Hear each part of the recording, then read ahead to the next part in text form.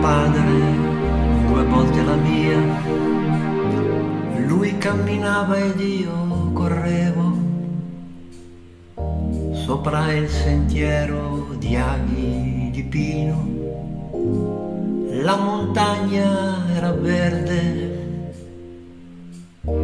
oltre quel monte il confine, oltre il confine chissà oltre quel monte la casa di Hilde